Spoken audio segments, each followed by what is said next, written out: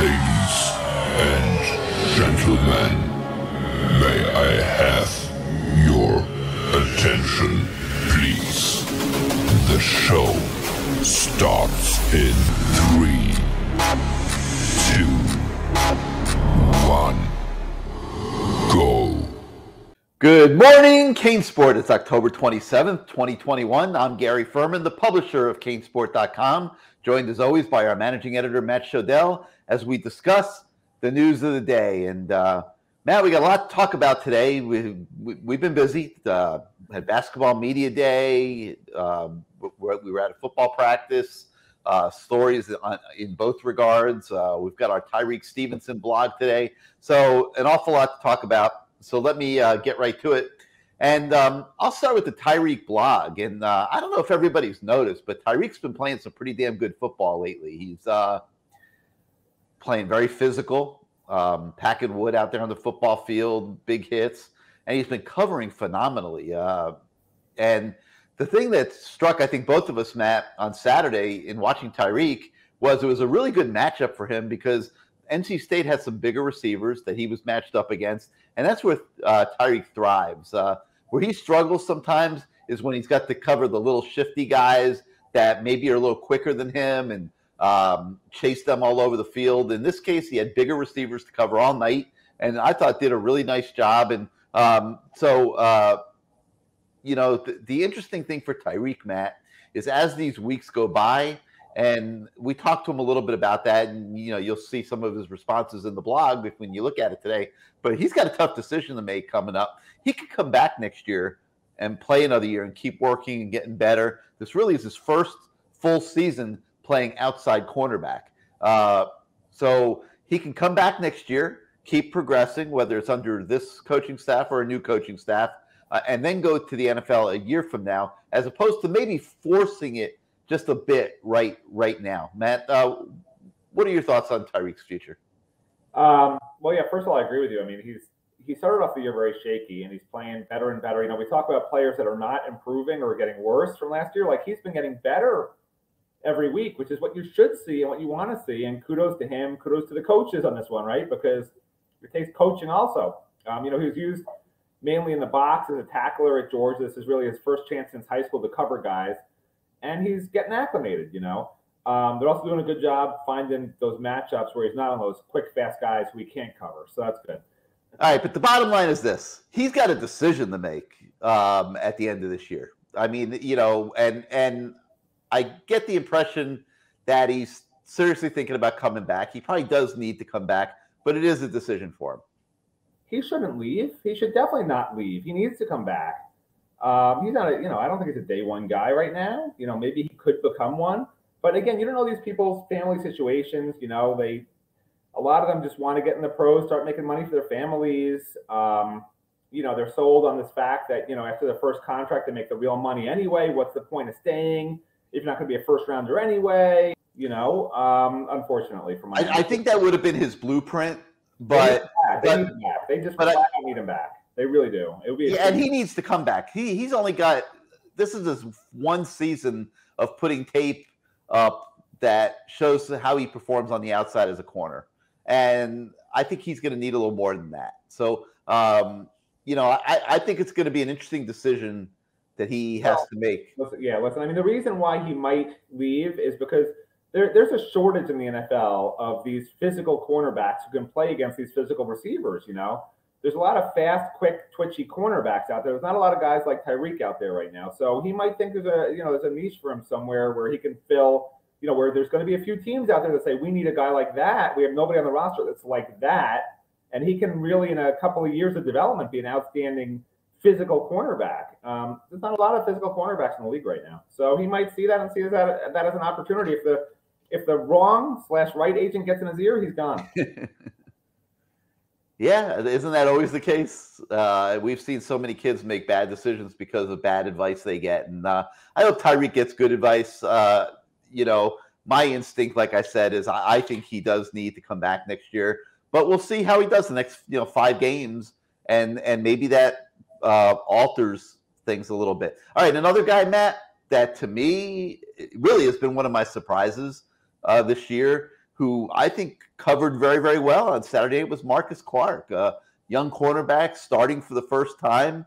He didn't stand out on the field in a negative way. And to me, that's a huge deal for a young kid starting for the first time.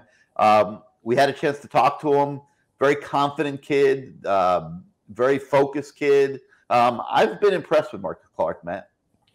Look, a cornerback is like an offensive lineman. If you don't notice them, it means they did well. I did not notice Marcus Clark on Saturday. Yeah. He started and played a bunch of reps. That means he did a good job, you know. Yeah, So- and it's it's a one game sample size too. It can come and yeah, go.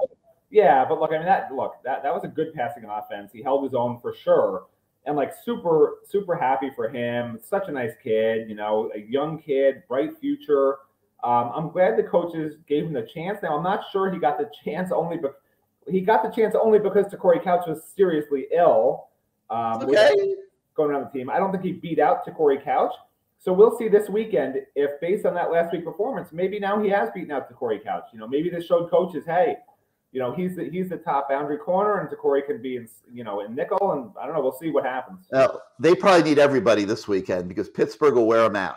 You know, Pittsburgh with this Kenny Pickett at quarterback is going to throw the ball a lot this this weekend, and uh, you know, Pitt will wear them out. It'll be interesting to see how the DBs hold up. You got a young secondary now uh, that's going to be out there, and and, and and and you know Whip, you know we know Coach Whipple very well. He's circling. He's circling guys like, how can I exploit that guy? How can I exploit that guy? Funniest thing is somebody on our message board today posted that they think Pitt is going to throw the game Saturday because Pat Narduzzi likes Manny, and he figures that if he throws the game, that Manny might keep his Yeah. job. Like, yeah, no, the, yeah, the theory. What the theory is that Pitt wants Miami to be awful for the next two or three years. I, I don't understand. yeah, no, I, uh, yeah, I mean, I mean that's pure comedy, okay? Like, yeah, like you know. I'm guessing it was yeah. a joke. Yeah, it was, it- it's pure comedy. All right. Um, we also have more coverage um, looking towards the Pitt game this weekend. Um, a lot of Pitt team talk uh, we've been getting from up there. Um, they got a great sports information up there, up there director up there, Ernie Borghetti, and he he does a great job of of getting us all the information that's going on up there. Uh, unlike any other opposing team that I could think of that Miami plays, and um, so we're you know we're getting a ton of stuff in and uh, we're putting it out on the website for you guys so you can see what pit players are saying about Miami uh, so far this week. We also talked to TVD. We- We're going to give him that moniker, TVD, Tyler Van Dyke, in case you don't know who I'm talking about, but I'm sure you do by now. And um, pretty funny, just absolutely hysterical um, interview session we had with him yesterday. Uh, basically, Manny Diaz told him before he before he came to talk to us that you know, Tyler, how about skipping the predictions this week? You know, it was kind of cute last week, but you know, maybe it would be a good idea uh, not to do that this week. And You know, uh, Manny, you know, what Manny forgot to tell him. Don't tell them that I told you that. correct. To tell them. it's good. Next week, next week will be listen. Yeah, blah, blah, blah, blah, and don't tell them I just told you that. Every week he's got to tell Tyler the specific exact thing that he shouldn't have said the week before. it's pure comedy. I love Tyler. He's Yeah, he's great. He's great. Yeah, it's uh, pure comedy. Um, big challenge for Tyler this week. Uh, he did great against NC State. Now he's got to try to string back to back outings together. And for a young quarterback, that's nothing to take for granted. Uh, I'm going to be very interested to see what Tyler Van Dyke looks like out there on Saturday. Um, because another topic that is coming up, which is absolutely applicable, is where does Jake Garcia fit in the future in all of this? And uh, you know, we talked a little bit about it yesterday, I think. And you know, do, do you just anoint Tyler Van Dyke off of the NC State performance as the quarterback of the future for the Miami Hurricanes? I don't think so. I, I think you got to let Jake Garcia be seen and heard in this battle going into next year, where one of them almost certainly is going to be the starter. But I also wouldn't be shocked, uh, and I'll throw this one out there as well. Uh, depending on who's coaching this team next year and what's going on, I wouldn't be stunned if they go in the transfer portal and get a more experienced guy to have on the team to go with these two young kids next year. I, I wouldn't assume anything just because Tyler Van Dyke had a good game against NC State on Saturday night. Uh, What, you let me answer your question, okay? When you go in the transfer portal to grab a guy, that's a guy who wants to come in and play right away, where it's not going to be a situation where man, I do it got a all the really time. battle. I may not be the top dog coming in, but I'll win the job. No, like no transfer quarterback who's a top quarterback is going to come here with these two young guys who, and one of them who looks amazing. You would have said the same thing about Charleston Rambo. Well, why is Charleston Oh, Rambo Rambo. going to come here? They got 12 receivers on the roster, Matt. Why would Charleston Rambo come here? He came here because he's better than them. Theo Wiggins and Mark Pope were awful. I, I understand, but they were here. He wasn't scared off by the competition. Charleston If you, Rambo if you're a great offense, a great offensive system for him, and a great quarterback who recruited him, and, and the assurance that he would be starting. Uh, What are you talking about? When He didn't come in with no assurance that hey, you're going to start off behind these three returning starters, but you, you have a chance. No, they told him you're going to start. These two guys suck. And when D'Eriq? King came here. N'Kosi Perry and Jarren Williams were here. He's better than them. Who That's why he came here. D'Eriq King. Eric King came. Those two guys were already on the outs by that time when he came. No. Wow. N'Kosi Perry played last year. He, Perry was he terrible. wasn't. D'Eriq King wasn't saying, "Oh, geez, I'm petrified. N'Kosi Perry's at Miami. I can't go to Miami." First of all, you have to He remember, was a, new coordinator came in. He didn't want Correct. That's what I'm talking about. What if there's a new coordinator? What if there's a new head coach? That What new coordinator takes a transfer. That means that guy's starting, and then Jake and TVD say bye bye Miami. There's no chance. I think there's a chance. I think there's a chance that they might bring in a veteran quarterback to compete with these guys. Kane ratings is not happening.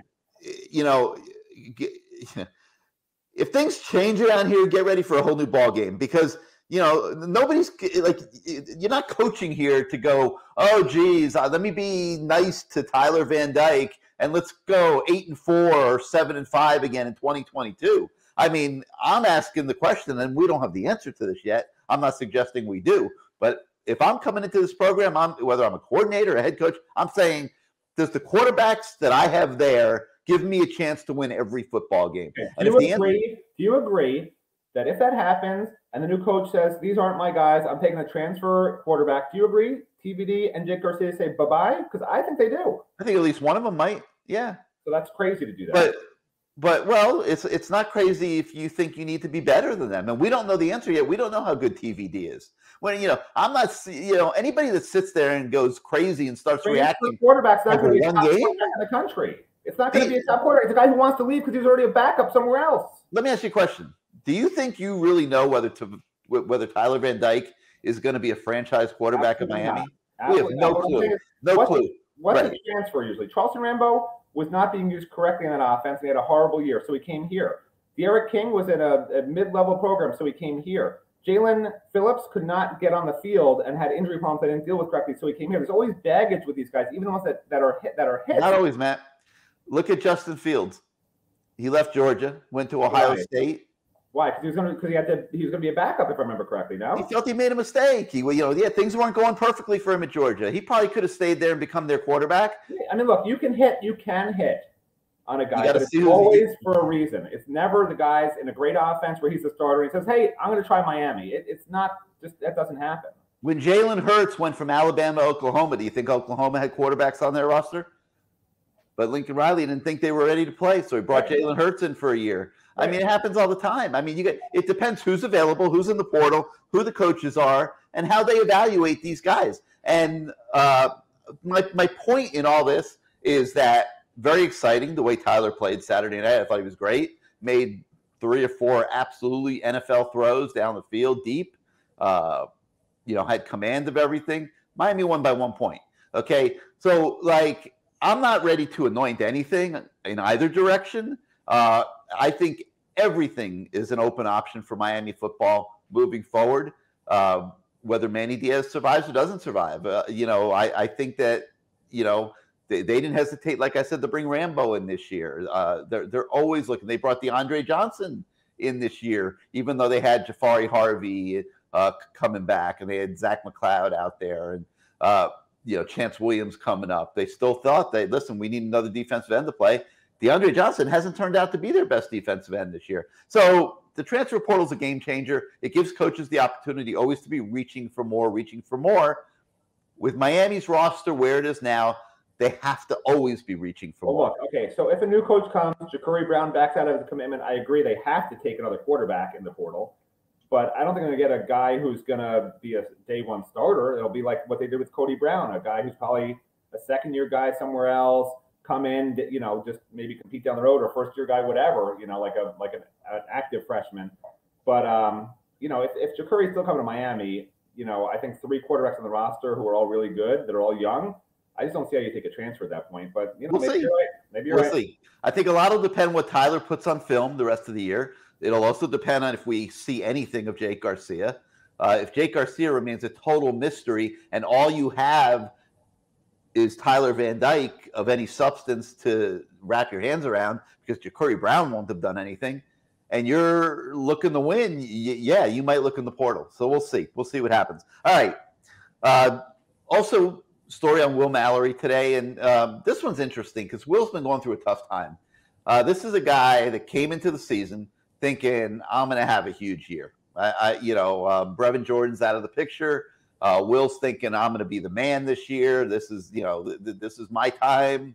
Uh, this is why I came to tight end you, et cetera, et cetera, et cetera. Well, it hadn't been working out that way, and uh, it's been tough on him mentally, way more than he, he probably lets on publicly and when he talk when he talks to us. Like you know, I know for a fact multiple players have had private talks with him, trying to cheer him up. You know, keep his spirits good. Um, you know, your moment's going to come. Will hang in there, and it did on Saturday night against NC State.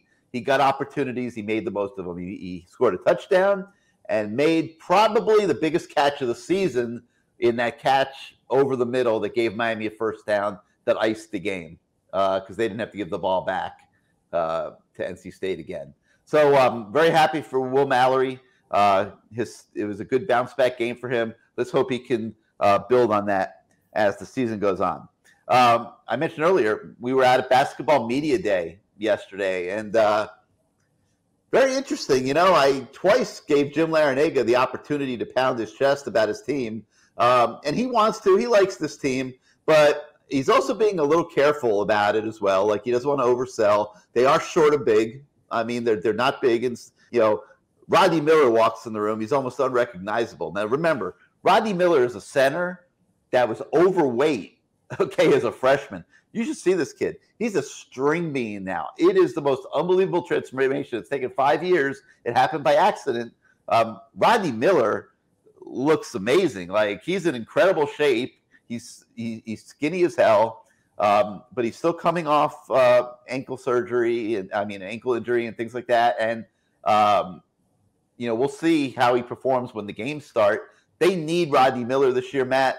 They have a ton of good guards, a ton of good forwards. Larrañaga knows it. He knows they have a chance to be a sleeper team in the ACC this year. Folks, this is going to be an exciting team. I encourage everybody get behind Miami basketball this year. Fill the Bank United Center. Uh, this is a team that's going to be worth watching. Okay, they are they are going to be very entertaining, very exciting. They got wings galore. They got guys that can score, get up and down the court. They're going to press a lot more on defense. The one thing they're lacking is a bruising rebounder and defender inside. If they could figure out a way to defend people in the paint, then you know, then they're going to be a real dangerous team. We'll see what happens. But Matt, I, I walked out of media day with a really good feeling about Miami basketball, and I don't think you know we could have said the same thing at the end of last season when they had seven players, their best players transferring out, et cetera, et cetera. Yeah, no, but I mean, at the beginning of last year, I thought they were going to be really good too, and the year before, I thought they were going to be really good. So, I mean, look, they're getting picked like ACC media picked them 12th, SI picked them eighth in the ACC.